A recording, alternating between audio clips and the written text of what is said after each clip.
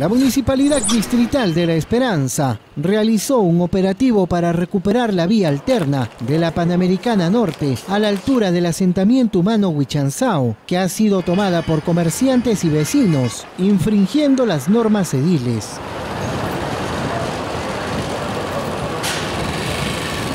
Como se ve en imágenes, parte de la vía pública ha sido bloqueada con toldos, letreros, fierros, puertas metálicas y toda clase de objetos.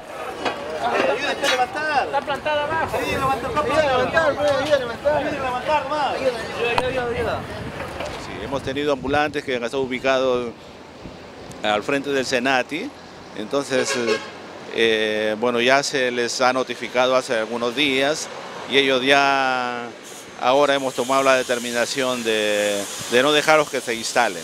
En el operativo participaron las gerencias de medio ambiente, de desarrollo urbano, personal de seguridad ciudadana y la policía municipal. Claro, que respeten la vía pública, eso es lo que estamos eh, tratando de, de, ganar los espacios que, que ya los ambulantes nos han estado ganando. Entonces se está tratando de recuperar todos esos espacios. El municipio también intervendrá en algunos puntos de la avenida Tahuantinsuyo, donde las veredas y sardineles son ocupadas ilegalmente. Los comerciantes que fueron notificados y no cumplieron con la ordenanza municipal serán multados con 350 nuevos soles.